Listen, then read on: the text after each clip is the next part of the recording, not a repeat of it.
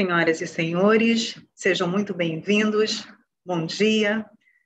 Essa, nessa manhã teremos o seminário internacional Pandemia ou Sindemia, uma abordagem crítica para a saúde planetária. Informamos que essa transmissão está sendo realizada pela Vídeo Saúde Distribuidora da Fiocruz e contará com intérpretes de Libras e também com intérpretes para o idioma inglês, também no canal. No encontro de hoje, contaremos com reflexões e diálogos sobre o ponto de vista da saúde global no contexto das pandemias e sindemias prementes, uma vez que não podemos mais pensar o convívio da humanidade a não ser pelo conceito da saúde única. No mundo plano de velocidade informacional, o avanço da ciência e da tecnologia se dá se não pela partilha de dados e informações abertas nas diversas áreas e redes do conhecimento. Exemplo disso são as parcerias Além Mar da Fiocruz com a Universidade Nova de Lisboa, pelo Instituto de Higiene e Medicina Tropical, pela Universidade de Aveiro e pela Universidade de Coimbra, exemplos de sucesso. A saúde planetária depende de ações conjuntas e sinérgicas envolvendo pesquisa, desenvolvimento, inovação, produção, acesso e atenção de todo o conexo econômico da saúde. Nesta manhã, abriremos com uma cerimônia é, cuja mesa será composta por Filomeno Fortes, diretor do Instituto de Higiene e Medicina Tropical da Universidade Nova de Lisboa, João Veloso, vice-reitor da Universidade de Aveiro, João Arriscado, do Centro de Estudos Sociais da Universidade de Coimbra, Paulo Buzz, do Centro de Relações Internacionais em Saúde da Fiocruz, Cristiane Vieira Machado, vice-presidente de Educação, Informação e Comunicação, e João Marco de Deus Cônsul, geral adjunto de Portugal, no Rio de Janeiro. Com a palavra, Filomeno Fortes.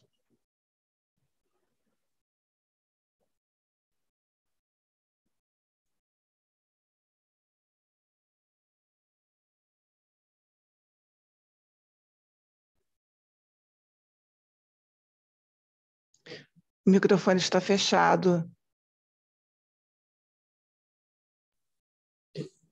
Bem, em primeiro lugar, boa tarde a todos. Eu não sou o Filomeno Fortes, eu, eu chamo Henrique Silveira uh, e em nome do, do professor Filomeno Fortes, diretor do Instituto, uh, ele está a ter alguma dificuldade em ligar-se porque ele está no momento está em Angola uh, e pediu-me para vos dar as boas-vindas e demonstrar o interesse da instituição do Instituto de Higiene Tropical na iniciativa e agradecer uh, a todos os participantes e desejar um excelente trabalho entre hoje e amanhã.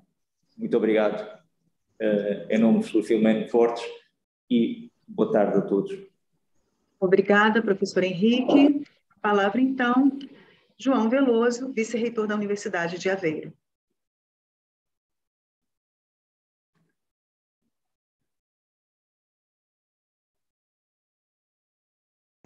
Professor João, o microfone também, precisa abrir o microfone. Ok, estão a ouvir agora? Sim. Sim? Ok. Um, bom dia a todos. Quero cumprimentar os participantes e os colegas da abertura do evento. Uh, nesta fase, penso que todos estamos cansados e um pouco frustrados com as voltas que a atual pandemia tem dado às diferentes estratégias que têm sido aplicadas. Eh, com certeza todos já pensaram, após a primeira vaga, a segunda, a terceira e por aí fora, que estaria tudo resolvido. E estamos na situação em que estamos. Nós sabemos eh, que a ciência tem um papel não só fundamental, mas também um papel decisivo no desenlace da pandemia, sendo mais do que nunca necessário considerar abordagens multi e interdisciplinares para resolver os problemas eh, de diferentes dimensões por, uh, criados pela própria pandemia. Temos também a consciência de que este não é um problema local, mas sim um problema global, onde as respostas uh, locais são diferentes e muito dependentes dos contextos, quer económicos, sociais, culturais, climáticos e geográficos, cada uma dessas mesmas regiões. Uh, se não tivéssemos essa consciência, agora a nova ameaça desta nova variante Omicron, com certeza nos faria pensar que uh, o problema poderá ser esse. O mundo não responde todo ao mesmo ritmo, uh, não tem contextos equilibrados, pelo contrário, isso potencia o aparecimento de novas variantes, atrasando e complicando toda a estratégia de combate. Neste contexto, é necessário discutir, ter respostas também concretas e agir. O presente seminário reveste-se de uma especial importância como uma contribuição para este esforço, onde a pandemia e a sindemia são o ponto central da discussão que iremos ter aqui hoje e amanhã. A Universidade de Aveiro junta-se naturalmente a esta importante iniciativa, tal como tem vindo a acontecer em outras organizadas para Fiocruz, Instituto Oswaldo Cruz e Farmanguinhos. Também gostaria de referir a aproximação Brasil-Portugal, no caso Universidade Aveiro Fiocruz, e claro, não fechado a estas instituições, hum, através da constituição de uma plataforma conjunta com o Instituto Oswaldo Cruz e a Farmanguinhos, a plataforma PICTIS, que também aborda muito dos aspectos a serem aqui discutidos. A PICTIJ é agora uma realidade que irá aproximar ainda mais as instituições e os dois, os dois países eh, e criar também novas oportunidades a partir do know-how acumulado e das diferentes experiências do consórcio. Resta-me desejar a todos um evento profícuo, com discussões interessantes, que com certeza o serão, e com muitas oportunidades que poderão ser aqui criadas. Muito obrigado pela atenção. Bom dia. Obrigada, João. Com a palavra, João Arriscado Nunes, do Centro de Estudos Sociais da Universidade de Coimbra. Boa tarde, boa tarde aqui em Portugal, bom dia no Brasil a todas e a todos.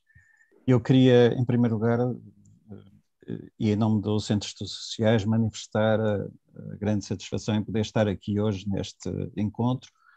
Um, nós temos uma longa, já uma longa experiência de cooperação com a, com a Fundação Oswaldo Cruz e também com as outras instituições envolvidas de diferentes maneiras. Estivemos já também, eh, já também tivemos várias, várias formas de colaboração, eh, algumas em curso ainda, por exemplo, partilhamos com a Universidade de Aveiro um doutoramento sobre, sobre questões de desastres naturais e, e respostas sociais aos desastres, e com a, o Instituto de Higiene e Medicina Tropical também tivemos já várias colaborações no domínio académico, eh, de vários tipos no domínio académico, mas com a Fundação Oswaldo Cruz eu próprio tenho já uma, uma relação bastante longa eh, que continua hoje. E em particular quando, quando estamos hoje a lidar com este tema que é absolutamente central, crucial hoje para o momento que atravessamos e para saber como vamos responder a ele, torna-se extremamente importante também lembrar aqui e, e trazer uh, uh, aqui a, a, a, referência àquilo que têm sido uh, também formas de colaboração recentes que procuram, por exemplo, explorar um, um dos aspectos tratados nesta discussão sobre pandemia e sindemia, que é o da vulnerabilidade sindémica e do sofrimento sindémico e também de todas as experiências que vão sendo também eh, criadas, todo, todo o conhecimento também que vai sendo produzido através das respostas que em várias partes do mundo vão sendo dadas também através do trabalho, através da, da, colaboração, através de todas as sinergias que se criam entre comunidades e populações atingidas por estas sindemias que hoje têm uma, uma, uma dimensão, eh, adquirem uma dimensão particular devido à, à presença da, da Covid-19 eh, mas que também eh, permitem depois criar essas respostas contextualizadas a que se refere precisamente esse termo de, de sindemia. E, e, por isso eu queria apenas deixar aqui uma, uma palavra de, de, de, de, satisfação também por podermos estar hoje aqui nesta, nesta conversa, neste, neste debate e neste encontro, eh, que espero que seja eh, um grande incentivo também para prosseguirmos as nossas colaborações. Portanto, bom dia e bom trabalho para todos e todas que vão participar neste evento. Obrigada, João. Com a palavra, Paulo Ruiz, do Centro de Relações Internacionais em Saúde da Fiocruz. Bom dia a todas e a todos.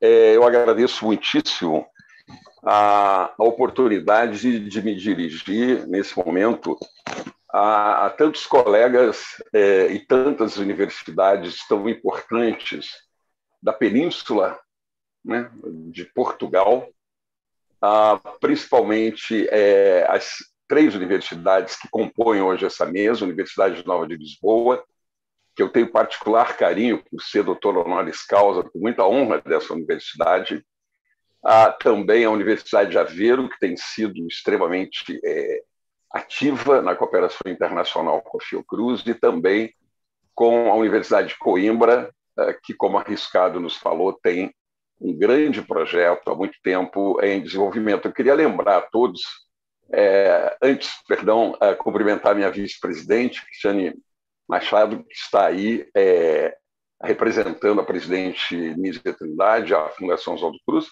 é, recordar que, na realidade, a nossa cooperação internacional é, da Fundação Oswaldo Cruz com instituições portuguesas remonta a 1900, é? quando Oswaldo Cruz e Ricardo é, Jorge, que criou o Instituto Nacional de Saúde Pública é, na Universidade do Porto, depois se transforma no Instituto Nacional do Ministério da Saúde de Portugal, iniciaram as conversações e as trocas que caracterizam durante todo o século XX e entram é, século XXI adentro é, entre Fiocruz e instituições portuguesas do calibre, da relevância, da importância mundial que tem essas que hoje nós estamos aqui reunidos. Eu acho também que o dia de hoje ele é particularmente exemplar para dizer que responder a pergunta pandemia ou sindemia? É evidente a resposta apenas se nós considerarmos o dia de hoje. É, hoje, a Organização Mundial da Saúde está realizando a sessão extraordinária, a sessão especial da Assembleia Mundial da Saúde, que foi realizada em maio, e o tema é o Tratado sobre Pandemias. Quer dizer, o mundo inteiro discute se o Regulamento Sanitário Internacional hoje responde à sindemia ou responde mesmo à pandemia, ou se nós temos que desenvolver um outro instrumento internacional. E os ministros da saúde de todo o mundo estão reunidos virtualmente desde mais cedo e reunirão pelo dia de amanhã e depois também na Assembleia Mundial da Saúde, na sessão especial, para discutir do que se está chamando um tratado sobre pandemia. Mas tem uma pergunta embutida nessa pergunta, que é: é um tratado sobre pandemias ou deve ser um tratado sobre saúde global? Na medida que as causas e consequências são externas à pandemia, o que caracteriza a sindemia, e são também externas ao setor saúde. É, por outro lado, eu queria exemplificar hoje, foi convocada uma reunião especial do grupo dos sete países mais ricos do mundo, o G7, né, que na decepcionante resposta na reunião da Cornualha desse mesmo G7, eh, não tirou a mão do bolso, só usou a garganta para dizer que financiaria vacinas ah, para o mundo inteiro e particularmente para os braços dos, ah, das populações africanas abandonadas até agora pelos países mais ricos do mundo uh, no fornecimento da vacina. O resultado é que nós temos aí a Omicron. E a resposta dos mais ricos do mundo, em vez de ser aumentar uh, o apoio, é fechar as fronteiras. Essa é, digamos assim, a decepcionante governança global do mundo uh, e que temos também problemas sérios na governança da saúde global. Mas a governança global está mostrando que não sabe não é generosa, não é solidária no enfrentamento de um problema que não é sanitário. É, por isso é uma sindemia, é um problema social, econômico, ambiental, político, e eu quero agregar uma palavra crítica nessa sindemia. É um problema ético. O mundo está vivendo, vivendo uma profunda crise multidimensional, a política, sanitária, evidentemente, econômica, social, ambiental e ética. Não há dúvida alguma, quando G20 e G7, os países mais ricos do mundo, se reuniram entre julho e setembro para fazer nada. Nada. O resultado é que, diante do surgimento esperado, não só da Omicron, que foi rapidamente detectada, aliás, pelos cientistas da África do Sul, dos institutos nacionais de saúde de lá, e informada ao mundo com muita generosidade, trazendo consequências não de apoio dos países desenvolvidos aos africanos para controlar a pandemia, sim o fechamento de fronteiras. Esse é o mundo que nós estamos vivendo, essa é a sindemia. E apenas para finalizar, é, eu acho que a coisa, portanto, não se reduz à questão questão é, da One Health, a questão da dita saúde planetária. Na realidade, a pandemia é um, um problema de multi, multidimensional e que terá que ser enfrentado muito mais do que apenas o tradicional conceito de saúde humana, animal e de ecossistemas. Terá que ser tratada a, a sindemia com essas seis dimensões que a crise da pandemia nos revelou de forma mais aguda. Eu só para para encerrar, eu gostaria de anunciar que dentro de é, uma semana nós vamos lançar um livro uh, do CRIS, um livro da Fundação Oswaldo Cruz, chamado Diplomacia da Saúde, Respostas Globais à Sindemia, onde nós trabalhamos não só as questões relacionadas com os sistemas de saúde, mas parte estudamos também filantropocapitalismo, estudamos o tema uh, dos direitos humanos, ah, e todos os demais temas que cercam esta sindemia e não pandemia. Então, eu queria compartilhar com vocês essa ah, convicção de que a resposta ao nosso seminário é isso. É, a, a Covid-19 ah, é, é, de fato uma sindemia e não apenas uma epidemia ou uma pandemia. Eu também desejo um bom seminário a todos.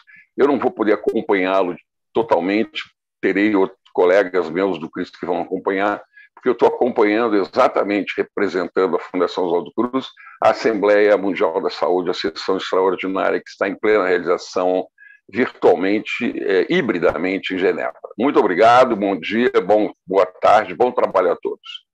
A gente que agradece, Paulo Bus, com a palavra, a vice-presidente de Educação, Informação e Comunicação da Fiocruz, Cristiane Vieira Machado. Bom dia a todos que estão nos acompanhando, boa tarde aos colegas que estão do outro lado do Atlântico.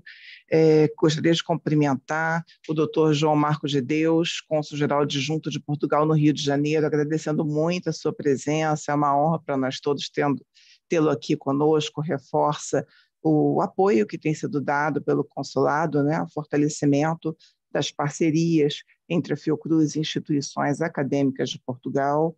É, cumprimentar o professor Henrique Silveira, em nome dele, também mandar um abraço para o professor Filomeno Fortes e para todos os colegas do Instituto de Higiene e Medicina Tropical de Lisboa, que é nosso parceiro, uma instituição parceira há muito tempo, com qual temos vários tipos de cooperação.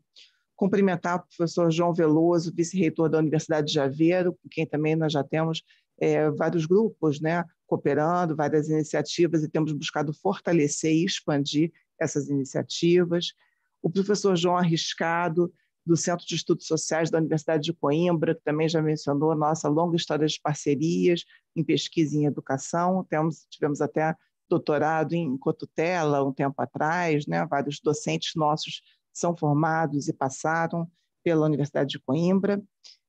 O meu colega Paulo Bush, do Centro de Relações Internacionais de Saúde, que acabou adiantando uma série de dimensões super importantes que, é, que, que tem relação com o posicionamento da Fiocruz nesse contexto difícil que nós estamos vivendo.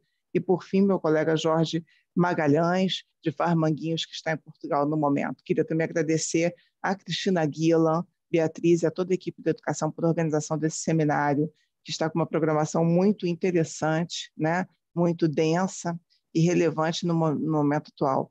Queria é, transmitir um abraço da presidente Nízia Trindade Lima, que não esteve conosco, mas está ciente, está acompanhando a realização desse seminário e endossa a nossa é, preocupação né, e o nosso também entusiasmo em fortalecer as cooperações que nós temos com Portugal na área de pesquisa e na área de educação, de formação de quadros para os sistemas públicos de saúde e, e para a ciência né, nos dois países.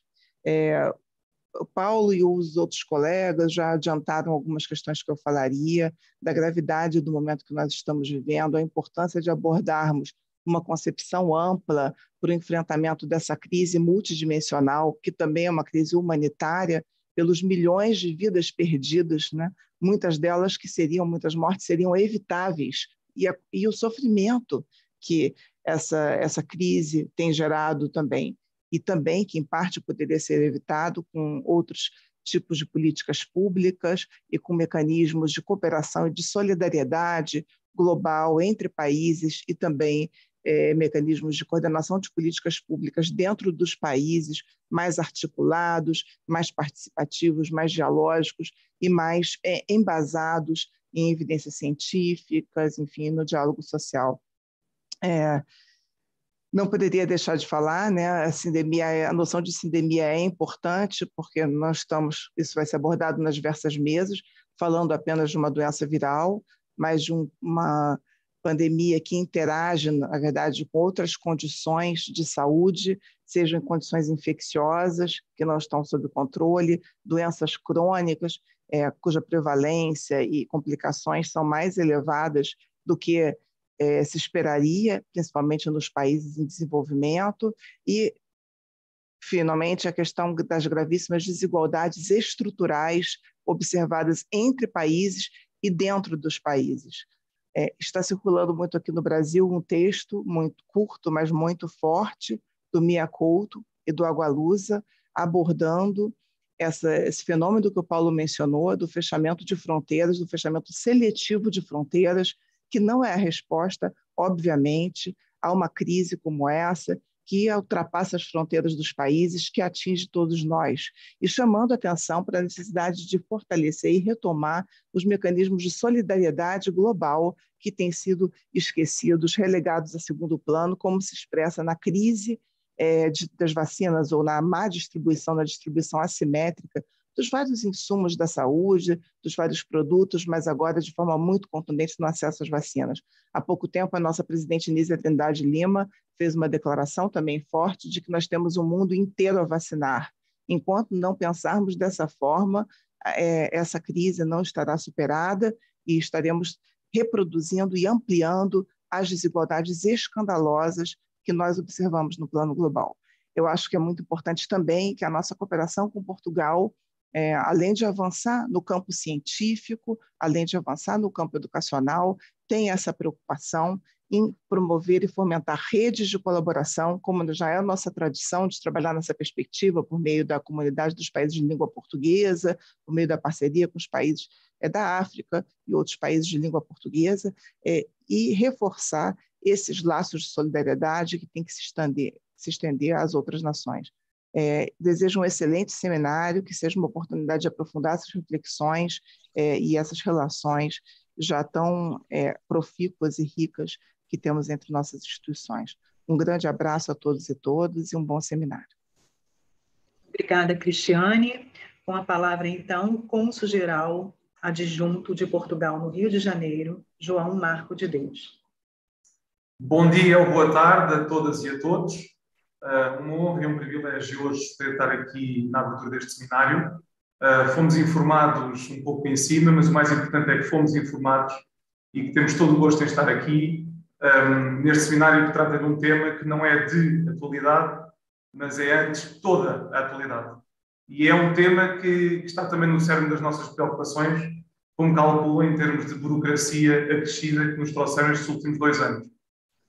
Eu trago aqui os cumprimentos do Sr. Consul-Geral, que está em Lisboa, também do Sr. Embaixador, que só não participa na abertura porque está no Nordeste, também na abertura hoje de uma cátedra um, do Instituto Camões, portanto, no plano da cultura. Um, e, e a mim cabe-me aqui frisar, primeiro, a excelência das relações que nós temos, quer na Embaixada, quer no Consulado-Geral, com esta extraordinária instituição que é a Fiocruz.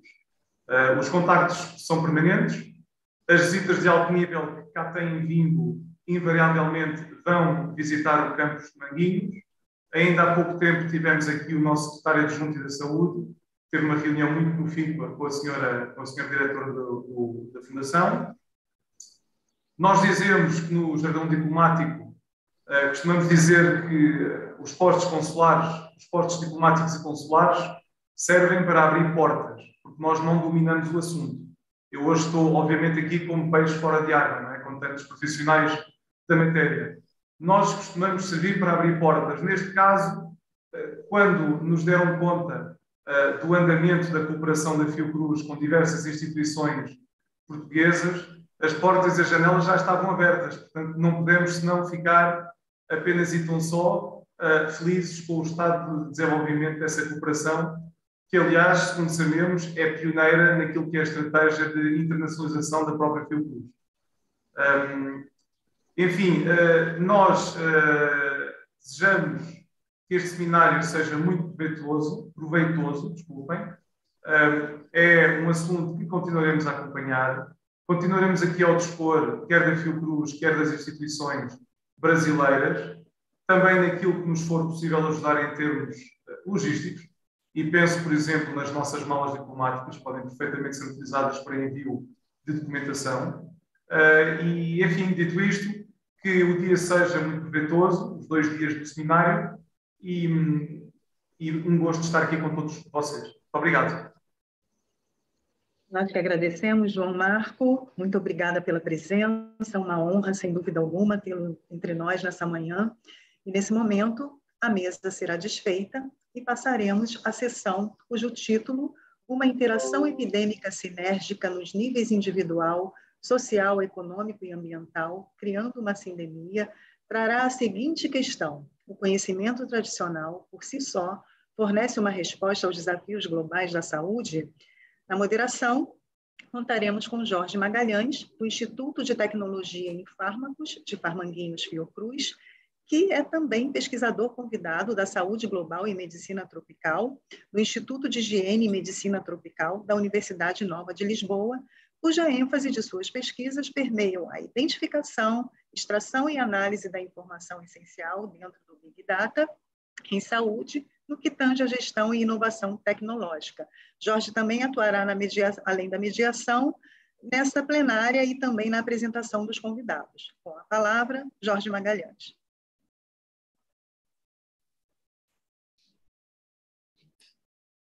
Olá, boa tarde a todos, bom dia a todos.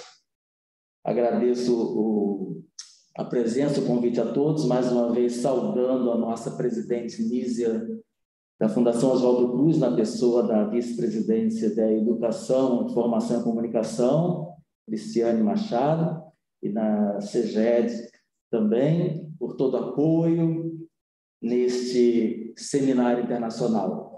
E também ah, reforço os agradecimentos, ora dito inicialmente, aos colegas das instituições da Fiocruz, bem como o professor Dr. Paulo Bus, pessoa uh, é, fundamental nesse elo das relações internacionais. Muito obrigado também por todo o apoio e conjuntura com as instituições além mar. Da mesma forma, uh, aqui a Universidade de Aveiro, na pessoa do professor, o vice-reitor João Veloso, na Universidade de Coimbra, professor João Arriscado, uh, e no HMT, professor Filomeno Fortes, e professor Henrique aqui, o representante de todos os expertos presentes também. Da mesma forma, o vice-consul João de Deus, pelo apoio constante que tem nos dado, é muito importante.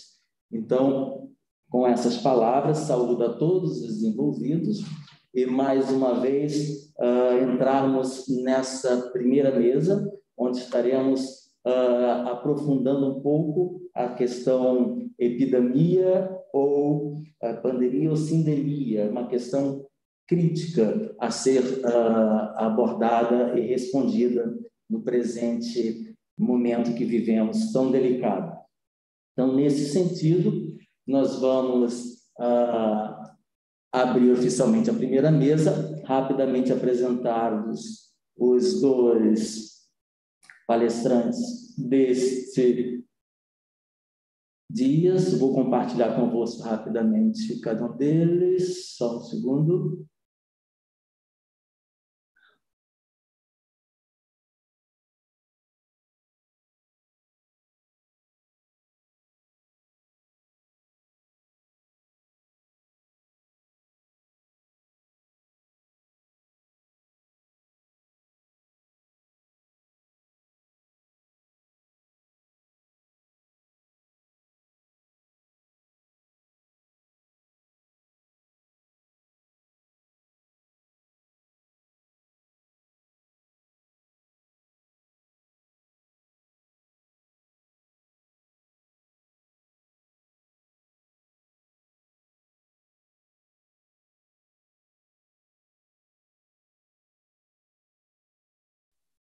Segundo que a tela estará a ser partilhada. Jorge, nós não conseguimos ouvir o início. Você pode recomeçar a sua fala? Agora há pouco, nos últimos dois minutos. Ah, ok, Rita. A parte dos agradecimentos não foi? Sim. Ah, ok. Estou a partilhar a tela também, só um segundo.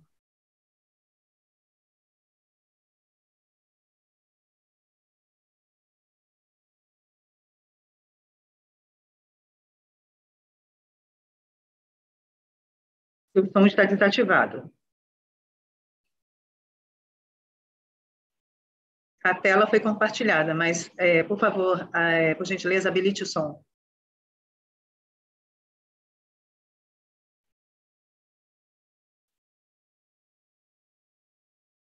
Continua sem som. Ok, já agora está? Agora sim, o som. Ah, ok, obrigado, Rita. Apenas o compartilhamento que desapareceu.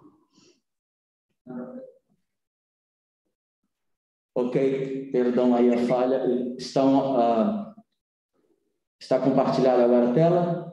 Sim, perfeito, Jorge. Ok, obrigado, Rita. Então, novamente, eh, volto a agradecer uh, na pessoa da Cristiane Vieira Machado, nossa vice-presidente de Educação, Informação e Comunicação da Fiocruz, a nossa presidente Nízia Trindade da Fiocruz, pelo constante apoio. Uh, bem como o professor Paulo Bus, do Centro de Relações Internacionais da Fiocruz, mais uma vez também pessoa fundamental, que nos tem é, angariado e, e proporcionado essa parceria Lemar, tão fundamental das instituições portuguesas, como ele bem colocou, de 1900. É interessante, aprendi mais um, um, um um pouco e o quanto é fundamental esse relacionamento com as instituições para o avanço da saúde global.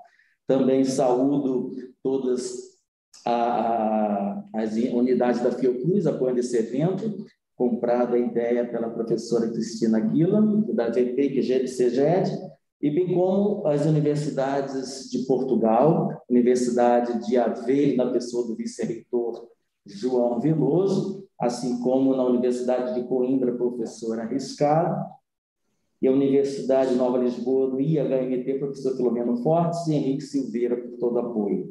Muito obrigado a todos, reforçando uh, os agradecimentos por esta oportunidade de refletirmos um pouco nesses dois dias de seminário. Obrigado a todos pelo suporte também nos bastidores. Nesse momento, abrindo a primeira mesa onde vamos discutir a questão pandemia ou sindemia, uma abordagem crítica para a saúde planetária, nós temos uh, a serem uh, é, apresentados e discutidos conosco, na primeira apresentação, o professor Andrew Farlow, da Universidade de Oxford, onde ele é líder para as iniciativas uh, de uh, saúde global de Oxford, em Berlim, é um professor sênior da Universidade Martin Oxford School e professor visitante nosso da Fundação Oswaldo Cruz, presidente também da iniciativa de parcerias na biodiversidade, eh, medicina e saúde, bem como um professor uh, do Centro de Medicina Tropical e Saúde Global. É, Andrew também presidente co uh, do, das iniciativas de mercado e fornecimento de dinâmicas de saúde e qualidade desse grupo de pesquisa para pesquisa da colisão clínica em Covid-19. Andrew estará apresentando para nós a abordagem de saúde planetária, uma sindemia, ecossistemas, negócios e saúde. Seguidamente teremos o professor Paulo Ferrinho, da Nova de Lisboa, do Instituto de Higiene e Medicina Tropical, onde foi professor onde é professor, é catedrático e várias vezes também uh, presidente, diretor do FCT, assim como diretor do Instituto de Higiene e Medicina Tropical, que atuou por dois mandatos e tem uma vasta experiência em medicina tropical, saúde global, uma forte diplomacia em saúde no nosso uh, sistema é, global. Nesse sentido, nós estamos abrindo essa discussão neste momento, onde poderemos passar a palavra de imediato para o professor Andrew Farlow. Seguidamente, as apresentações dos dois palestrantes, nós seguiremos aos comentários e discussões, que mais à frente apresentarei os dois convidados que temos para uh, comentar e discutir, e seguidamente também teremos as perguntas abertas uh, ao público que está no YouTube, onde poderão fazer as suas questões e sendo colocadas uh, para resposta dos nossos palestrantes. Então, mais uma vez, obrigado, professor Paulo Ferrin, professor Andrew Farro. Nesse momento, passamos a palavra ao professor uh, Andrew Farro, de Oxford, para a sua apresentação. Hi, everybody. Good morning, good Olá afternoon. a todos, bom dia, boa tarde. É um prazer enorme falar com vocês hoje.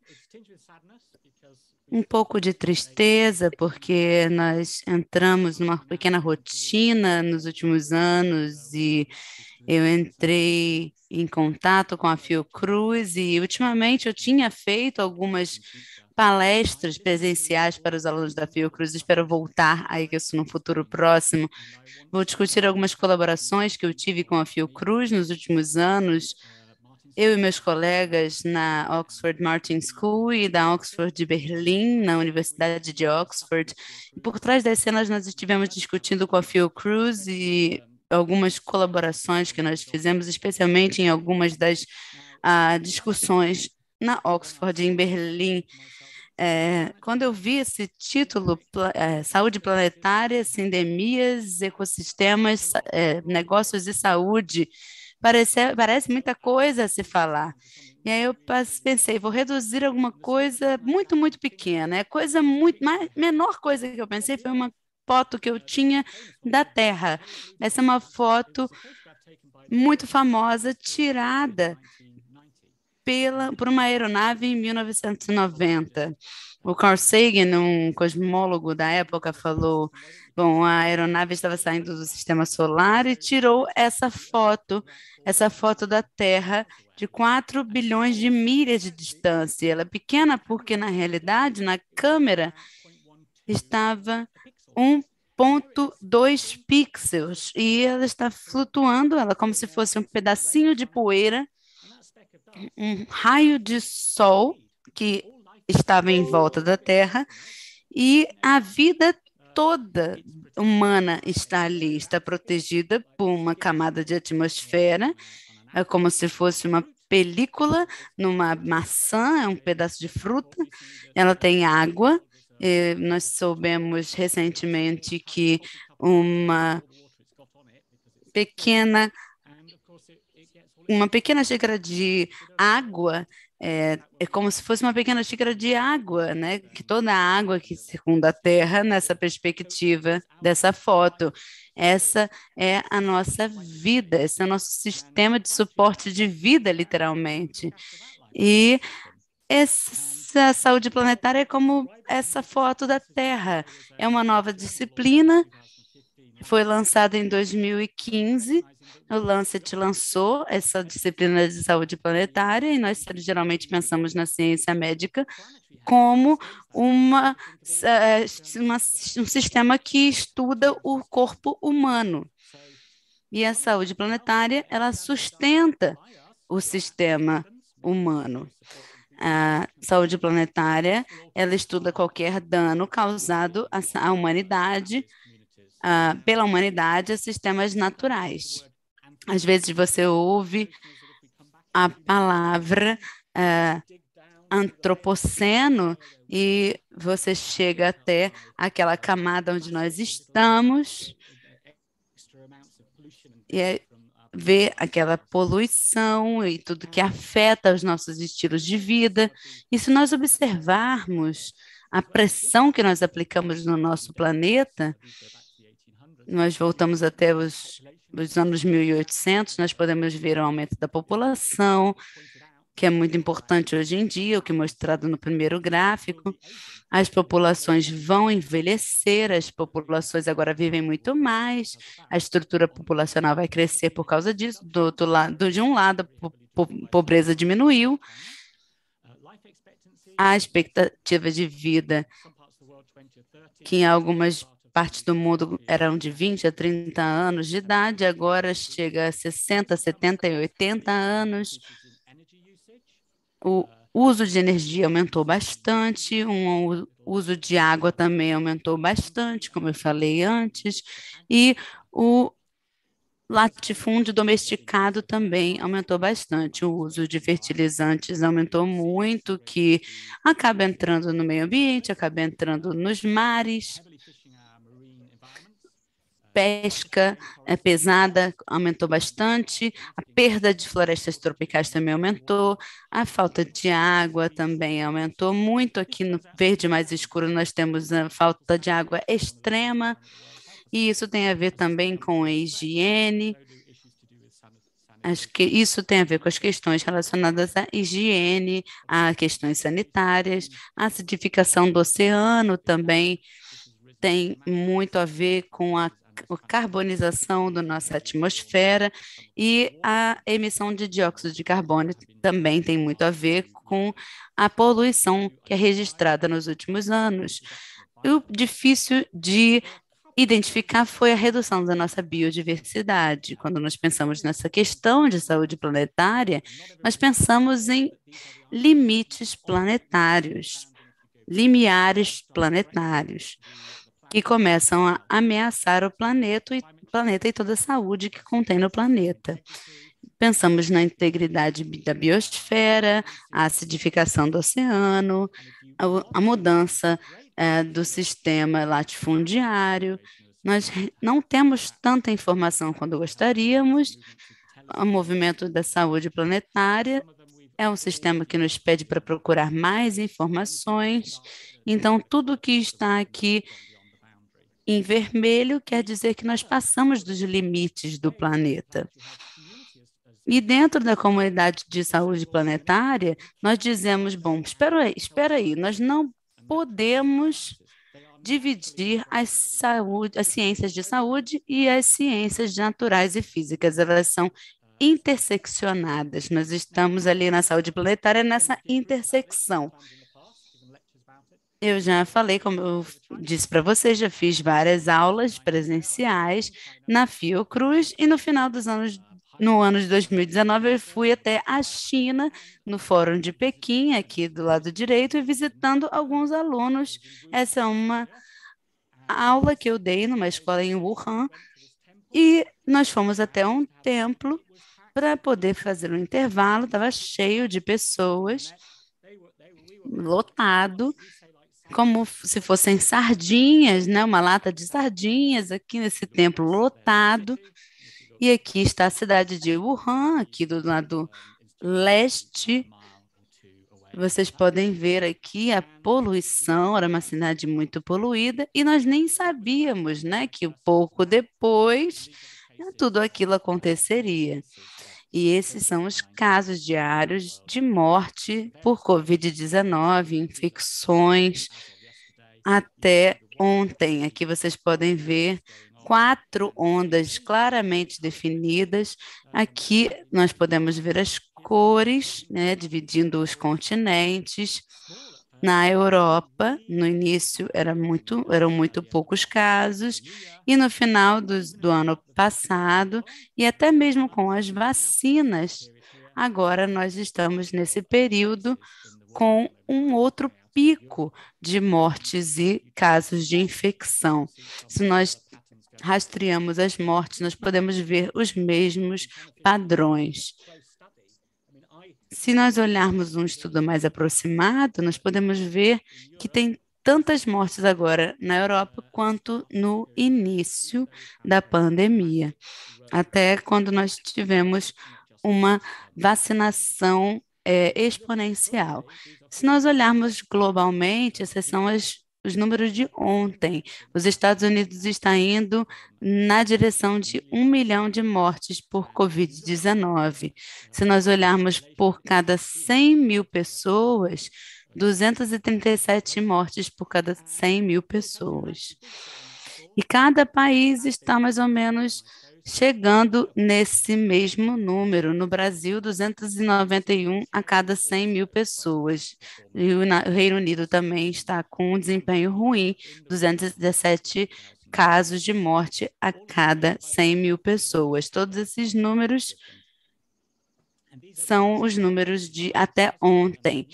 Casos a cada 100 mil pessoas, nós falamos de sindemias e pandemias e casos de saúde global, nós sempre usamos esses gráficos aqui de cores. Então, a cada momento em que a cor fica mais intensa, pior é o caso. Esse é o caso do Reino Unido. Aqui nós podemos observar, no caso do Reino Unido, que a cor está mais intensa. No Brasil também a cor está mais intensa. E por que, que eu observei esses números e por que, que eu queria pensar neles? Porque antes da pandemia, nós estávamos analisando quem estava preparado para a pandemia. Se nós tínhamos, então, um índice de saúde global. Esse é o reporte de 2019 e nós ficamos surpresos, porque nós estávamos repensando tudo naquele momento, porque havia alguns retrocessos, mas no índice de saúde global, o, a média de, era mais ou menos de 40, de 100 pontos. Até os países ricos estavam chegando a pouco mais de 50. Então, até na crise. Nossa, nosso entendimento de preparação não era ótimo. Não era uma surpresa, nós fizemos muitas reuniões em Berlim falando sobre isso, falando sobre é, abordagens de saúde global. As crises, no geral, é, nós temos que ter uma crise para aprender a responder bem a ela. 70% dos países tiveram uma pontuação péssima, catastrófica, e talvez, bom, vamos seguir em frente aqui. Esses são os países mais preparados. Eu pedi para vocês prestarem atenção nas cores, porque, de acordo com o índice, os países mais preparados incluíam os Estados Unidos, Reino Unido, França, Austrália, Tailândia. E se você ranquear esses países, aqui estava os Estados Unidos, 83,5, com um ótimo índice, quase um milhão de mortes hoje em dia. O Reino Unido eh, estava em segundo lugar, e se você olhar em relação à prevenção para, a para surgimento ou liberação de patógenos, também temos os Estados Unidos em primeiro lugar. Aqui está sistema suficiente e robusto para tratar os doentes e proteger os, os trabalhadores de saúde. Se tiver uma métrica que te faz perceber o quão perigosas as métricas podem ser, é essa métrica aqui. Como uma métrica pode estar errada? Os sistemas de saúde dos Estados Unidos provaram que eles estavam em uma posição muito difícil para lidar com a pandemia. Claramente, nós vemos os fatores de risco para as consequências negativas de contrair o vírus, o que era a aglomeração. E para a prevenção e o tratamento dessa doença, nós tínhamos que diagnosticá-la rápida, rapidamente. E os riscos, como nós todos sabemos, diminuíram significativamente com pessoas mais jovens e com comorbidades.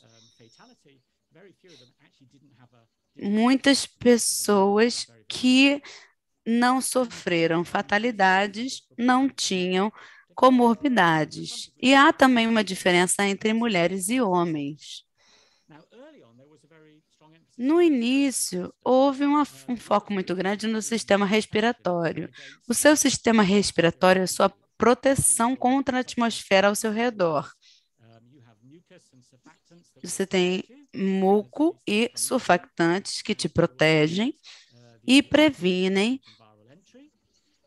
essa entrada viral e essa, é, esse acoplamento do vírus ao seu sistema respiratório. Essas células epiteliais iniciam essa, essa uh, resposta imune. Então, esse sistema mata o vírus, essas células virais, essas células dendríticas, e, em certo ponto, é, esse sistema começa a se adaptar.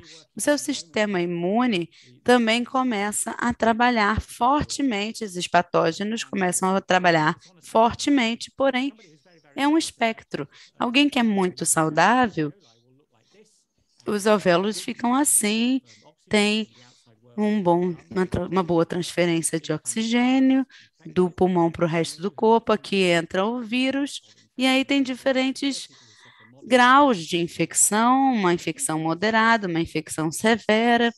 E a diferença é que esse preenchimento de fluidos, como a gente pode ver nos raios-x no lado direito, essa resposta imune, imune complexa, tudo trabalhando junto, fica muito difícil a troca de ar do pulmão para o resto do corpo, e é o que causa as fatalidades. Se nós olharmos alguns fatores de risco que surgem, esses são alguns dados do Reino Unido que surgiram um pouco mais tarde.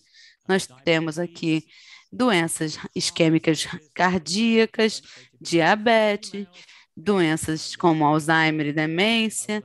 Uh, temos alguma, alguns dados aqui para uh, homens mais velhos e mais novos, mulheres mais velhas e mais novas. O Richard Horton escreveu um artigo muito influente de opinião no, no ano passado que nós devíamos começar a parar de pensar nisso como uma pandemia, devemos prestar mais atenção a doenças não comunicáveis e pensar mais na desigualdade socioeconômica, além das interações biológicas e sociais entre os estados e as interações que aumentam a suscetibilidade da pessoa Então, a gente tem uma série de perguntas, como, por exemplo, por que, que algumas é, doenças se agrupam de determinadas maneiras? Quais são as maneiras, as maneiras da gente, como essas, essas doenças interagem biologicamente e como é que as desigualdades eh, sociais, econômicas, políticas e ambientais contribuem para o agrupamento dessa doença. Então, eu tenho algumas notas sobre os efeitos de agrupamento com altos potenciais. Se você adicionar as doenças não transmissíveis juntas, um, um terço do cargo da doença já cai nessas categorias. E 1,7 bilhões de pessoas no mundo todo têm um risco aumentado de um caso grave de Covid-19 por causa das doenças não transmissíveis que estão relacionadas com a dieta, doenças cardiovasculares, diabetes, e, e já temos 14 milhões bilhões e de mortes por causa dessas doenças não transmissíveis. E se você observar dados de pacientes em hospitais, 40% dos pacientes na Espanha com casos sérios já tinham doenças é, não transmissíveis. E na Itália, é, mais de 90% tinham condições anteriores. E na Índia, 73% das pessoas morrendo de Covid-19 já viviam com doenças não transmissíveis. Então, se você observar rapidamente nesse esse diagrama aqui, você pode ver que esse é um artigo que mostra o impacto da obesidade e com um pouco de genética, nutrição e os, os efeitos é, no, no, tecido adiposo, nos pulmões, que explora as maneiras como a comorbidade, a obesidade, a acumulação de gordura e etc., alimentam, junto com as células imunológicas, as respostas imunológicas, a outras disfunções dos tecidos, tanto no rins, no cérebro e assim por diante. Eu falei sobre alimentos, uma das grandes áreas da saúde planetária é o alimento, e muitas vezes a gente vê uh, uma dieta pobre ou a gente tem muita comida no mundo, mas a gente tem quase 2 bilhões de pessoas comendo demais ou as comidas erradas. Isso cria essa, essa epidemia de é, problemas cardíacos, obesidade, etc. E a gente tem esse, mais de um bilhão de mortes por um, um, é, um milhão de mortes por causa dessa do, essa dieta pobre. E a gente, o sistema alimentar, é, o grande emissor de gases de efeito estufa e usa muito da água potável e da, do território. E, no entanto, eu estava numa palestra na outra semana e a gente falou sobre as diferenças em expectativa de vida entre, por exemplo, Glasgow um, e a, nas partes mais ricas e nas partes mais pobres. E a gente tem essa dieta que é é boa para nós, segura para nossa saúde e para o planeta. E vocês podem observar qual é essa dieta que inclui cada vez menos o que está do lado direito, que é carne vermelha, que é ruim para a sua saúde e também para o ambiente, em termos de produção. E temos esse tipo de, uh, de gráfico de da, da sindemia, com, e a gente tem um sistema alimentar que é, pouco, que é pouco eficiente. A gente mostra como as calorias são criadas, entregues no mundo, são calorias entregadas no sistema alimentar por caloria produzida.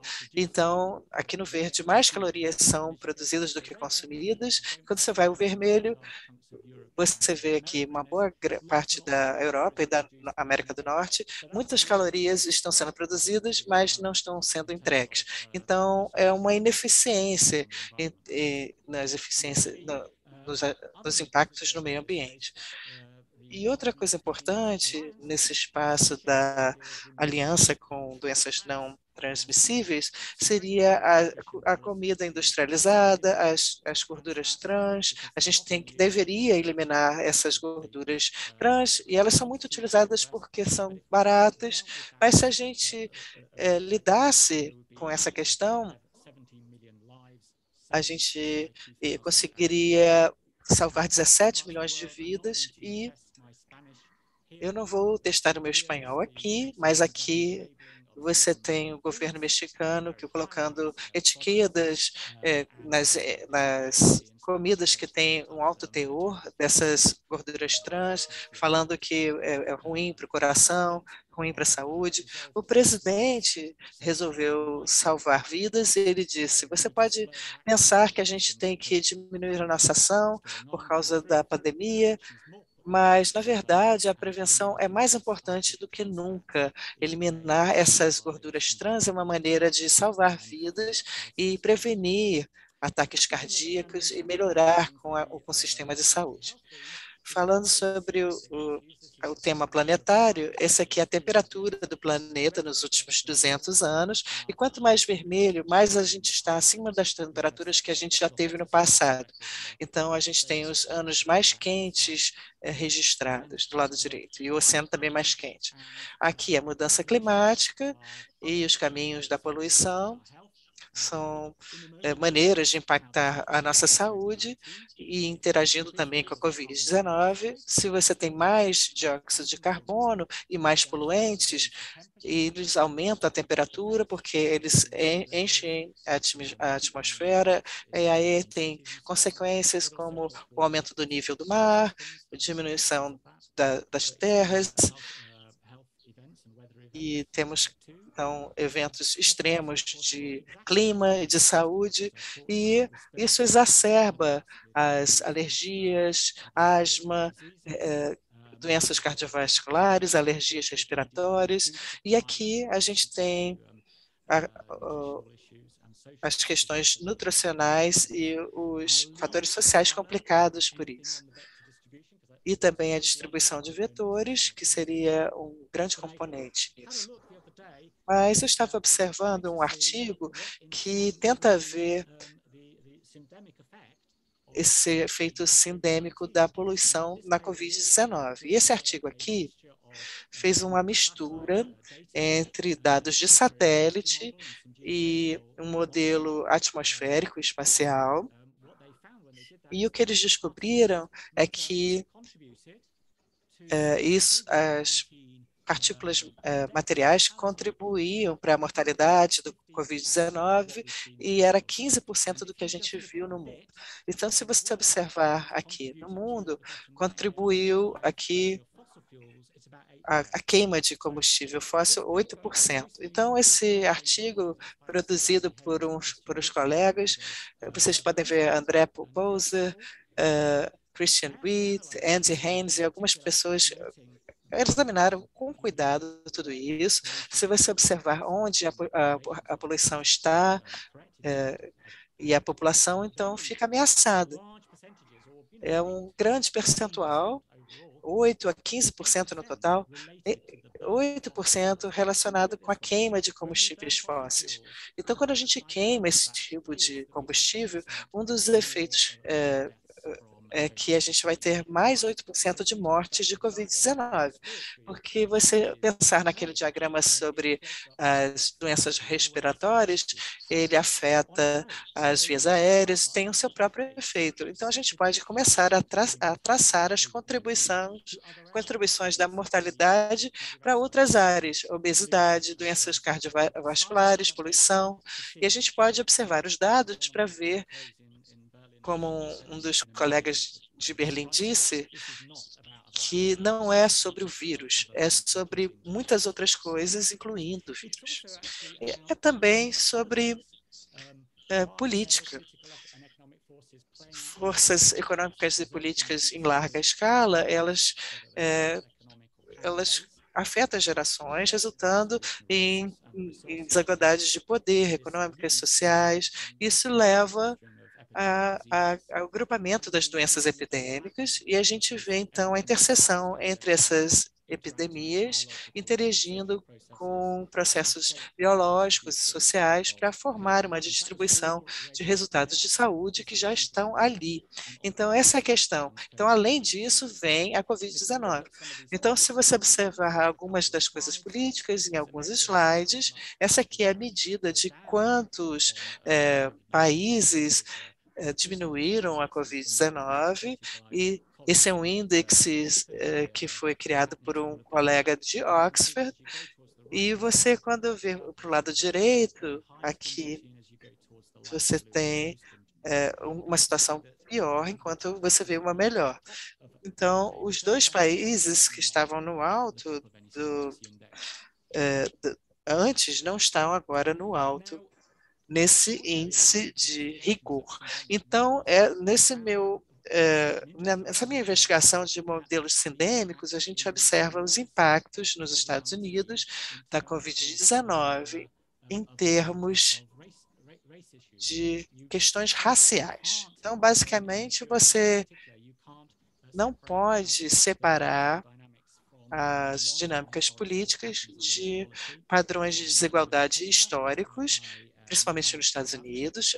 Houve um artigo aqui que tentou fazer a questão, trazer a questão racial e sistêmica e também com a questão da diabetes e o efeito na Covid-19. Então, basicamente, todos os fatores sistêmicos a, pobreza concentrada, é, redes sociais fracas, questões de moradia e a desigualdade, e uma das coisas que eu notei é que, basicamente, nos Estados Unidos, se você for uma pessoa negra, você tem nove vezes mais chances de morrer de Covid-19 do que se você for branco. E antes havia essa noção de que isso teria uh, a ver com riscos uh, subjacentes, mas você nota cada, vez mais que isso é levado pelos fatores econômicos, sociais e políticos. Então, um dos grupos que a gente que tenta separar isso sobre as causas da pandemia e a gente é, pensa na então na globalização, das mudanças democráticas e sociais, os desafios de saúde é, pública e as mudanças ambientais. Então, antes de eu terminar, uma outra área porque eu estou olhando sobre o ângulo de saúde global, seria é, o perigo de ter essa sindemia na saúde global, principalmente na área de malária e no uso das vacinas. Então, esse aqui é um artigo feito por alguns colegas que observaram o que, que aconteceria se muitos pacotes de medidas controladas para lidar com a malária fossem relaxados como consequência da pandemia? E eles viram a incidência clínica aqui na letra A e aqui a mortes por malária na letra C. Então, se você observar aqui embaixo, essas seriam as conclusões desse modelo. Então, eles passam é, uma série de cenários com relaxamento, com a, a cobertura de drogas, e eles relaxam também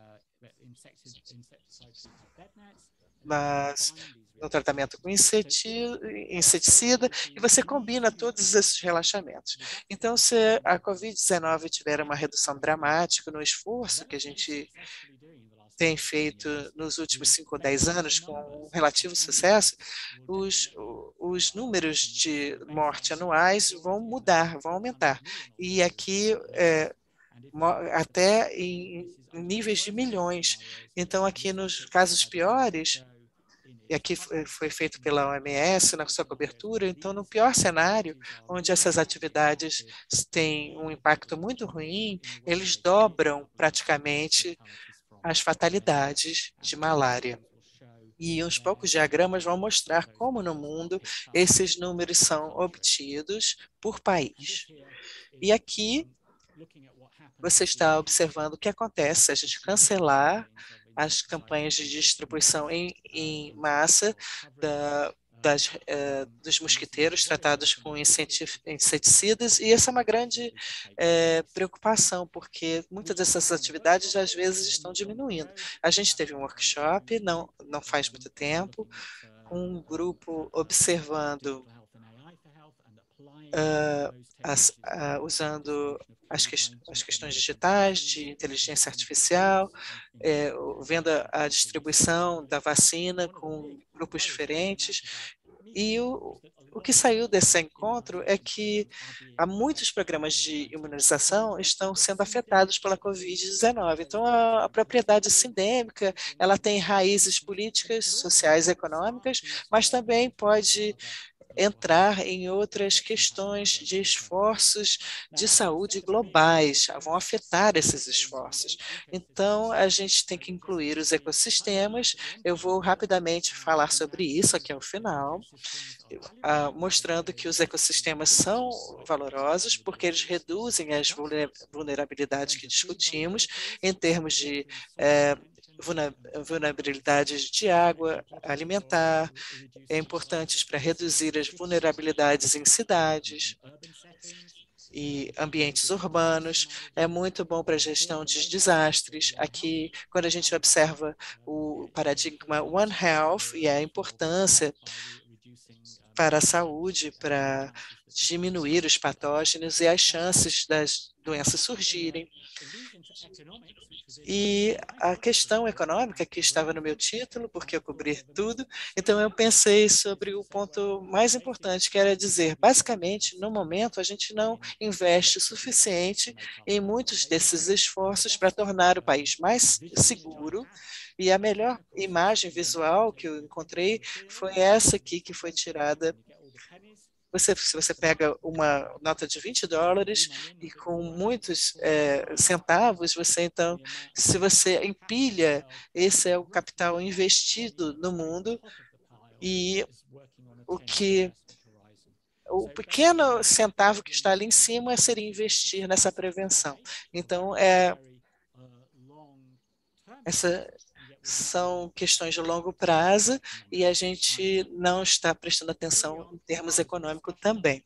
Mais cedo, houve uma discussão que é sempre é, citada, porque as, é, você vê que a pandemia for, é, segue as, as linhas de falha da sociedade, porque eles magnificam as desigualdades, incluindo as de poder, e modela a saúde da população. Então, aqui temos algumas lições, observações de pesquisas médicas e formuladores de políticas. E no médico, no mundo médico, a gente faz, usa muita matemática e a gente tem que ir para além do, dos dados clínicos individuais para observar os, os números comunitários a gente tem que incorporar mais do que os estudos clínicos, a gente tem que levar em consideração uh, tanto as doenças não transmissíveis quanto as infecciosas, tirar dos, dos, dos, eh, do isolamento as duas e, e, considerar as duas juntas. A gente tem muitos especialistas já fazendo essa interseção. Então, as questões políticas são importantes, suas falhas são estão são muito importantes no, nos Estados Unidos, no Brasil. Os contextos históricos são importantes porque a gente tem que pensar como a gente vai lidar com a pandemia no futuro. Então a gente tem que evitar ter uma abordagem tecnológica que junta tudo de uma maneira muito complexa, com um modelo matemático muito complexo. Não, isso tem que ser algo disperso o contexto importa. Então, a gente precisa de uma abordagem sindêmica para a gente fazer os relatórios e a entrega de saúde e ajudar a cobertura. A gente tem que ter essa abordagem sindêmica para se preparar para o futuro. Isso é importante porque temos muito dados de como a gente deve, deve se preparar para o futuro e a gente não deve é, ter somente essa essa abordagem analógica, tem que cobrir todos os aspectos e tem que ter o ângulo One Health, que seria a próxima fala do Paulo Ferrin. Então, é, é isso que está por trás da minha apresentação. Muito obrigada. Muito obrigado, professor, pela sua apresentação, pela sua aula, que foi muito interessante. A próxima apresentação do, do professor Paulo Ferrinho. Mas, antes, gostaríamos de registrar a brilhante apresentação do professor Farlow, quando ele nos traz a abordagem da saúde planetária. E Farlow pôde nos mostrar essa interação social, econômica, pandêmica que nos traz a sindemia. Farlow trouxe interessante abordagem das mudanças climáticas, atmosferas oceânicas, a ciência da saúde ligada com todas as outras áreas da ciência. O quanto essa interseção é necessária e premente. Nesse sentido, Farlow nos mostrou alguns índices da saúde global. Interessante, interlaçando das epidemias, gerando pandemia, e, por fim, a proposta sindêmica que precisamos eh, nos calçar em cima dela. Nesse, nesse cenário, Farlow índices, taxas de fatores de risco da Covid-19, a presente pandemia, nos traçando a condição de saúde envolvendo sexo, gênero, é, economia, levando uma atenção necessária de todas as áreas uh, da ciência. E, nesse sentido, a contribuição global que Farlo nos mostra, apresentando diante da poluição, riscos por mortes, como as regiões dos planetas, do nosso planeta está contribuindo em cada área, foi mostrada por Farlow. E nessas desigualdades, Farlow nos mostra como foi a resposta e como está sendo a resposta dos governos frente à Covid-19, com aqueles índices demonstrados. Interessante demonstrar o desafio sindêmico da Covid e, por fim, frente à malária, como exemplo, e de outras doenças que assim possam ser. O impacto da saúde global nesse ecossistema é demonstrado por Farlo, cruzando todos os setores da ciência, economia, negócios. E, portanto, Farlow nos brinda trazendo essa abordagem sindêmica, onde a atuação de cada um de nós frente a acesso, fornecimentos, comida, medicamentos, economia e negócio merece o olhar e a atenção crucial da nossa gestão, demonstrando que ainda precisamos avançar muito na questão de gestão desse processo. E a abordagem sindêmica perpassa pelo olhar de uma saúde, a saúde única, que será demonstrada pelo pastor pelo professor, perdão, professor Paulo Ferrinho, do IHMT. Perdão a falha aqui com tantas anotações, é essa que estamos agora, que vamos ouvir o professor Paulo Ferrinho. Nesse sentido do segmento, depois nós teremos dois comentaristas que estarão respondendo e comentando essas questões. Não obstante, queremos lembrar a todos que estão no YouTube que suas perguntas sejam colocadas no chat que depois iremos também levá-las aos nossos é, palestrantes e comentaristas. Com a palavra, o professor Paulo Ferreira.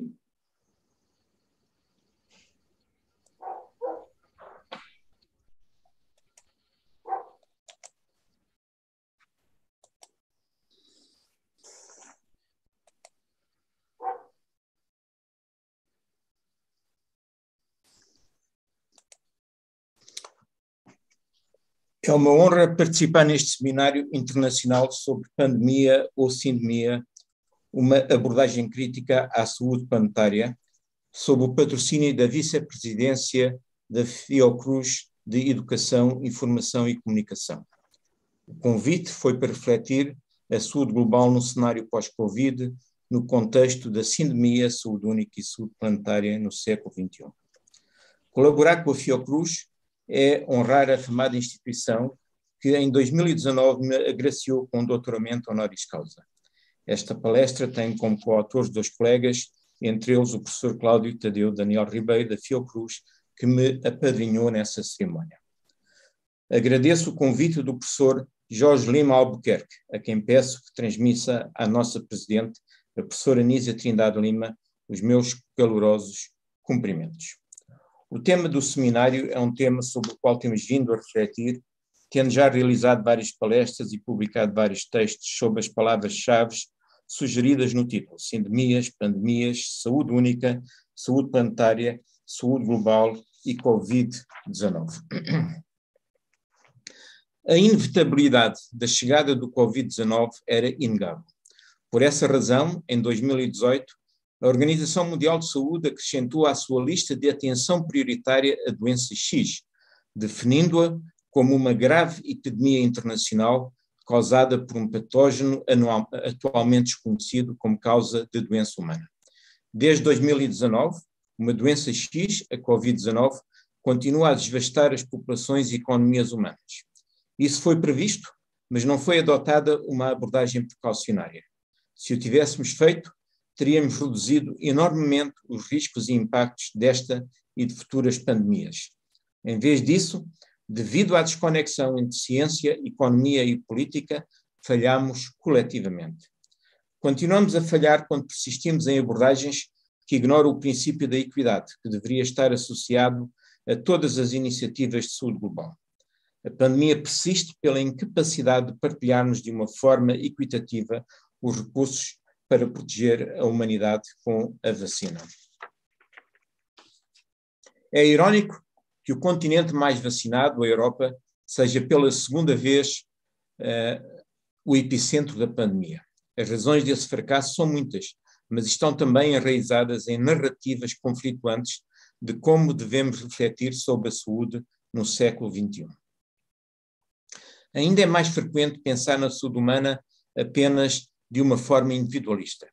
Essa forma de pensar está associada a desenvolvimentos médicos muito importantes, como, por exemplo, da medicina de precisão. Apesar desta forma de pensar ser justa e necessária, está longe de ser satisfatória quando o foco muda do tratamento de doenças para a proteção da saúde.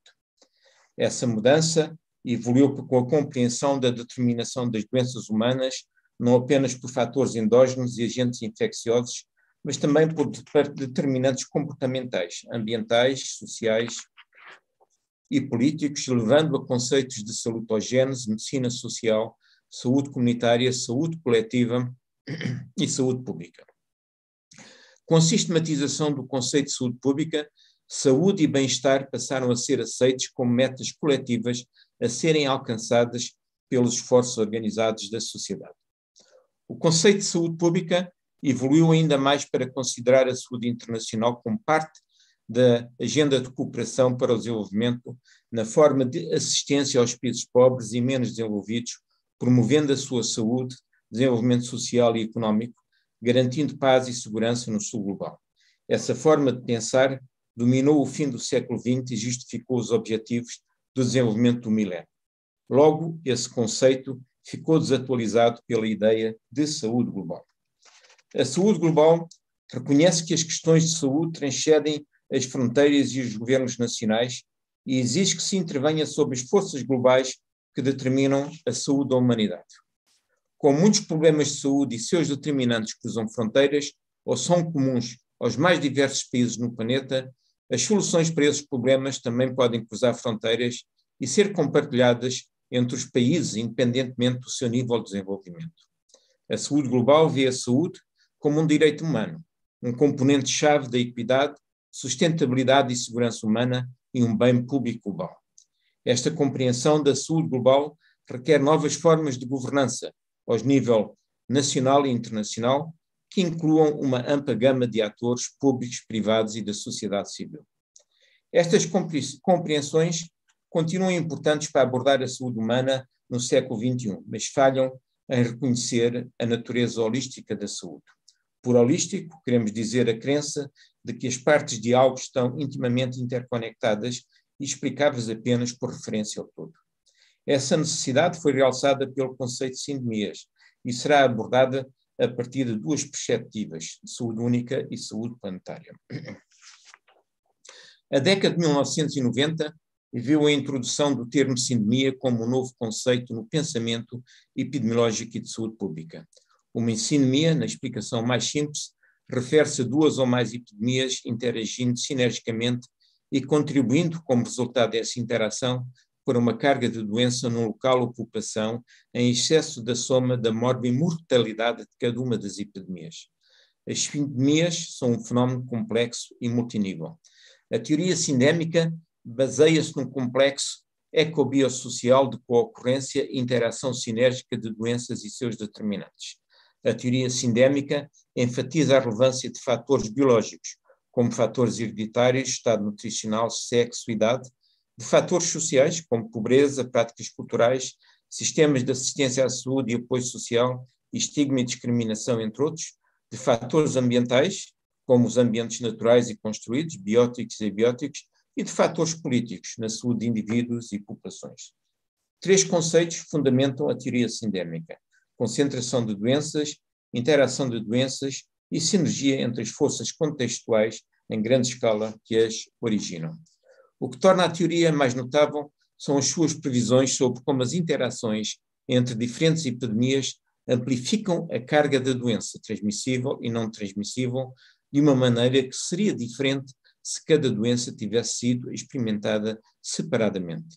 Consequentemente, a teoria sindémica rejeita entendimentos conservadores de doenças como entidades discretas, distintas umas das outras e independentes dos contextos em que emergem. Esta teoria tem sido aplicada ao longo dos anos para compreender a dinâmica da saúde dos migrantes, disparidades de saúde, desnutrição, violência, eh, incluindo violência contra parceiros íntimos, saúde sexual, abuso de substâncias, saúde mental, saúde oral, VIH-Sida, tuberculose e outras doenças infecciosas e doenças não transmissíveis, como a diabetes mellitus, doenças cardiopulmonares, obesidade ou doença renal. A pandemia Covid-19 é o exemplo mais recente e mais visível de uma sindemia, como podemos ver por este slide, que tenta interpretar a pandemia à atual luz da teoria sindémica. Recentemente, no esteio de recentes pandemias, tornou-se óbvio que a saúde das pessoas, dos animais selvagens ou domesticados e de outros sistemas vivos naturais estão sindemicamente conectados. Esta é a base do conceito de saúde única. A saúde única permite o desenvolvimento de explicações transdisciplinares da ocorrência de saúde e doença por meio de uma compreensão abrangente dos ecossistemas humanos, animais e vegetais e seus contextos sociais e ou ambientais e engloba iniciativas e abordagens que lidam com sistemas complexos. As raízes científicas deste conceito podem ser vislumbradas nos trabalhos de Edward Jenner, no século XVIII, e Louis Pasteur, Robert Koch, Rudolf Virchow e William Oster no final do século XIX. Mas as primeiras formações sistemáticas do conceito de saúde única datam de, das décadas de 1940 e 1960, com os norte-americanos James Steele e Calvin Schwab. O seu renascimento contemporâneo, já neste milénio, foi impulsionado por várias iniciativas, incluindo o simpósio O Mundo Saúde Única, em 2004, realizado pela Wildlife Conservation Society. Recorrendo às epidemias de ébola, gripe aviária e emagrecimento crónico, o simpósio refletiu sobre os elementos atuais e potenciais de doenças entre as populações humanas, de animais domésticos e de vida selvagem. O simpósio deu origem aos princípios de Manhattan. Estes detalhavam uma abordagem colaborativa, transdisciplinar, denominada então, em 2004, Um Mundo, Saúde Única ou simplesmente Saúde Única. Desde 2004, o planeta passou por mudanças massivas e existenciais, com alterações climáticas notáveis e a perda catastrófica de biodiversidade. Para revisitar os princípios de Manhattan, à luz dessas mudanças, a Conferência de Berlim, em 2019, denominada Um Planeta, Saúde Única, um Futuro, aprovou um apelo à ação, chamados Princípios de Berlim sobre Saúde Única. Esses princípios são uma atualização dos princípios de Manhattan, reintegrando a saúde e a integridade do ecossistema e, ao mesmo tempo, tratando de outras questões urgentes, como transbordamento de patógenos, mudanças climáticas e resistência antimicrobiana. Notavelmente, estas discussões e a adoção dos princípios de Berlim antecedem em poucos meses o surto de Covid-19 e a pandemia subsequente.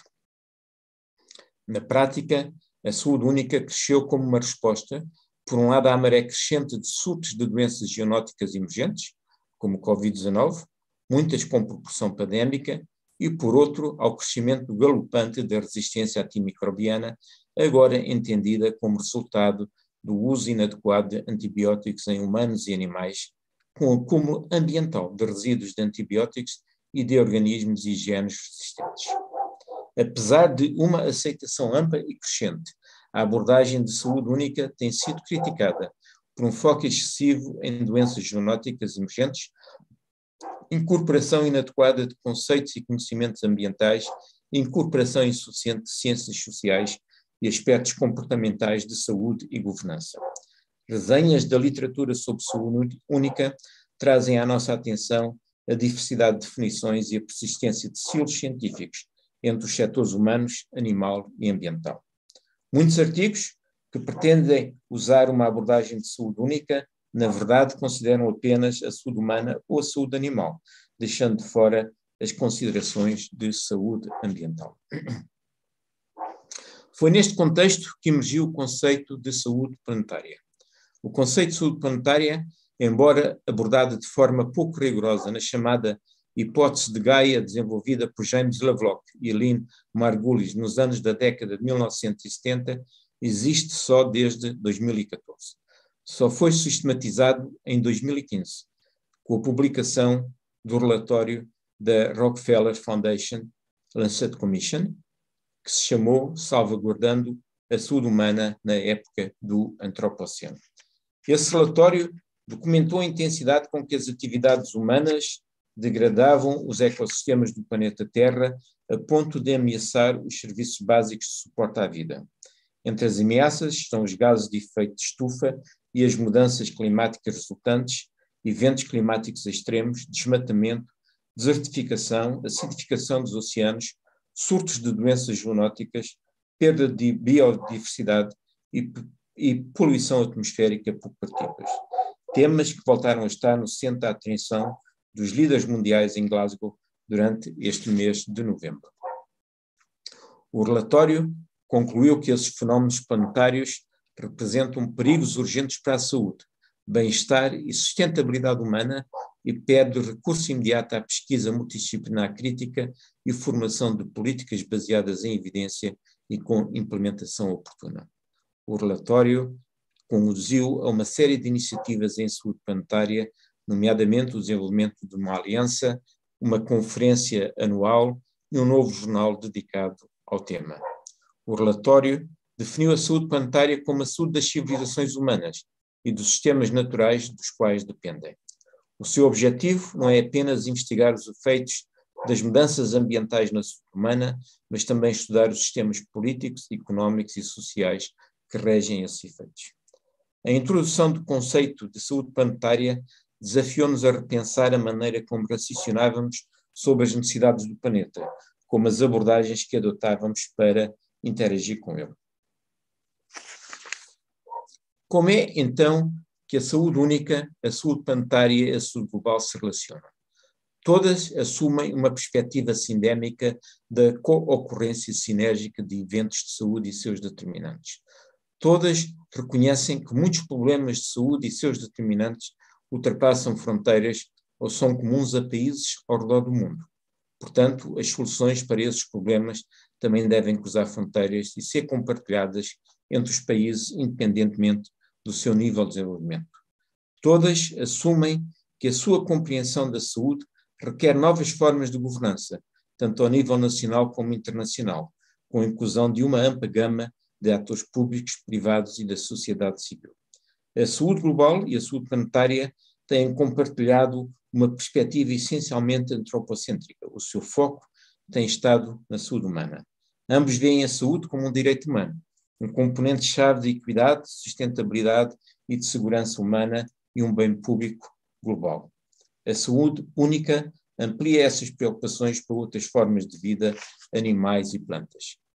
Embora seja verdade que as primeiras definições de saúde global não levaram totalmente em consideração a base natural sobre a qual os humanos vivem, o próprio planeta, nem levaram em consideração a força e a fragilidade das civilizações humanas, as definições mais recentes já incorporam essas preocupações.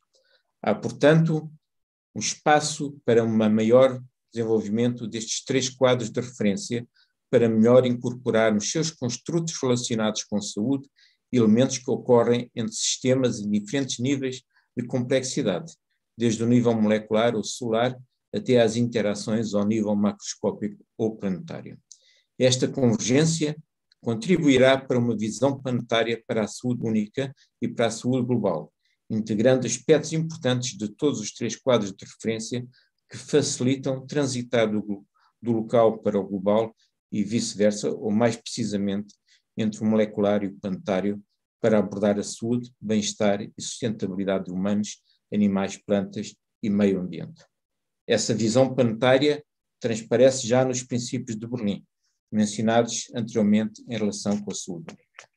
A adoção de uma visão planetária de saúde única e de saúde global facilitará a integração das iniciativas de saúde global para prontidão e controle de doenças com questões subjacentes e urgentes de mudança ambiental, equidade, sustentabilidade e governabilidade.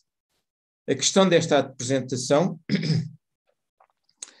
a questão central desta apresentação é se os três quadros de referência que discuti, saúde planetária, saúde única e saúde global, representam teorizações independentes de curta duração em resposta a uma doença, a uma onda de doenças emergentes, como o Covid-19, que ameaçam engolir o mundo desde os finais do século XX, ou evoluções paradigmáticas que levarão a um novo conceito progressivo de convergência a um, e a um compromisso forte com dinâmicas de intervenção interdisciplinares em torno da Agenda 2030 e dos Objetivos de Desenvolvimento Sustentável para a proteção da vida e das necessidades do planeta do século XXI. Necessidades que são desafiadoras e que estão representadas pelo momento pandémico que vivemos atualmente. Os desafios que persistem beneficiariam de uma perspectiva sindémica eh, e de uma visão planetária para a saúde única e para a saúde global, permitindo criar modelos locais de coexistência saudável entre humanos, populações de animais e plantas e os ambientes que eles compartilham e dos quais dependem para a vida, o que é fundamental para garantir um, um, um futuro sustentável para o nosso compartilhar o planeta Terra, o que é fundamental para dar uma resposta cabal à pandemia que vivemos atualmente. As soluções para esta pandemia estão nas nossas mãos. Muito obrigado. Dito. Obrigado, professor Paulo Ferrinho. Muito obrigado por sua apresentação tão profícua e necessária nesse momento em que vivemos. Ferrinho abordou para nós uma reflexão envolvendo a saúde global diante de um cenário pós-Covid. E nesse âmbito, Ferrinho nos traz a reflexão da saúde individual, a saúde pública, a saúde internacional, por fim, a saúde global. Nesse contexto de saúde global, global como um bem público global. E este bem público necessário emerge a desatualização do tema que Ferrinho nos mostra a questão sindêmica. E esta sindemia envolvendo uma série de questões perpassando pelos determinantes sociais. E então, Ferrinho evoca para nós, para nós o conceito One Health. Nesse sentido, dentro deste globo demonstrado por Ferrinho de saúde individual, pública, internacional, global, apresenta-se o conceito que não é novo, mas premente necessário One Health. E dentro do One Health, como a questão de bem público, a integração como palavra-chave nesse contexto da saúde planetária. Muito obrigado, professor Ferrinho, quando ele nos aborda dizendo que, diante de todo esse contexto, a gestão está nas nossas mãos. Obrigado, professor Ferrinho. E, para comentar as apresentações do professor Andrew Fábio e professor Paulo Ferrinho, nós temos o professor uh, Guto Galvão e o professor Rubem Martinez. Um, uh, okay. Só um segundo. ok. O professor uh, conhecido Guto Galvão, Luiz Augusto, do Cris Cruz, é um médico de saúde pública atuando no Centro de Relações Internacionais de Saúde, o CRIS, da Fiocruz, participou, é ativo na área de saúde global, OPAS, OMS, e estará conosco, nos brilhantando nas questões comentadas das apresentações de Andrew e de Ferrinho. Da mesma forma, temos o professor Rubens Martinez, do CIESAS, atuante na área, antropólogo, médico de investigação do Centro de Investigação, perdão, Estudos Superiores do CIESA do governo mexicano. E dentre uma série de prerrogativas e especialidades acadêmicas, os comentários de ambos e as discussões. Seguidamente, as perguntas colocadas no chat serão respondidas também com uma réplica e tréplica dos nossos apresentadores e comentaristas. Uh, lembramos também que aqueles que desejarem certificados devem mandar no chat, lá no YouTube, o seu pedido para o e-mail que está na tela. Com a palavra, professor Guto uh, Galvão. É, muito obrigado, Jorge.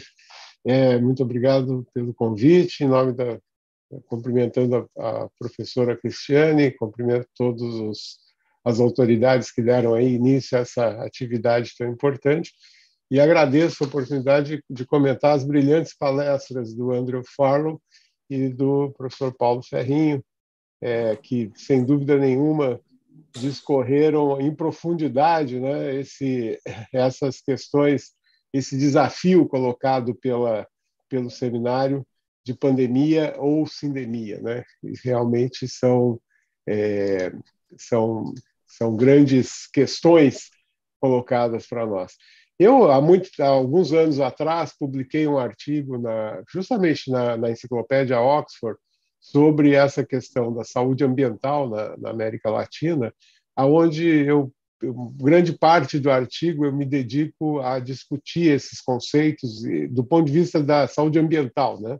como conceitos emergentes que tratam de, de emparelhar, de resolver essas questões da, da, do, do, do, planeta que nós vivemos, das questões sociais que nós vivemos e das questões físicas ambientais que nós vivemos.